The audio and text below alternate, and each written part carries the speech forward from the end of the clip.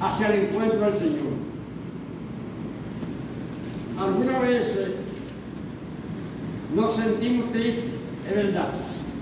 Partió mi hermano, ¿no verdad? Pero también nos sentimos contentos en el sentido de que quien nos, Dios nos lo quitó. Dios nos da y Dios nos lo quita. Dios nos regala y Dios se lo lleva.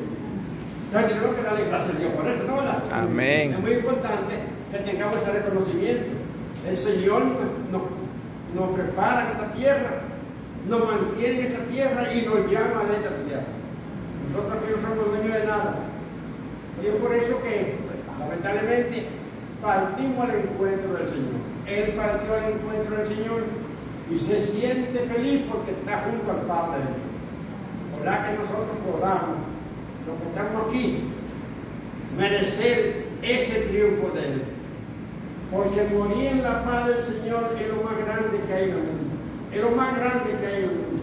Porque si ustedes se dan cuenta de lo que estamos viviendo hoy día, y como estamos hoy día, el mundo estaba de Y donde quiera matan a uno, atracan a uno y, y, y- y desaparecen a uno. Y ya cuando ustedes no desaparecen o, o- les matan a un familiar, ya usted se siente, ya se siente impotente. Se siente mal. Alguien que no tiene que quitarle la vida a su familia. Pero ahora nos sentimos alegres porque pues, Dios se lo llevó. Y si Dios se lo lleva, amén, ¿no verdad? Amén. Amén. Eso es muy importante, que tengamos presente eso. Así que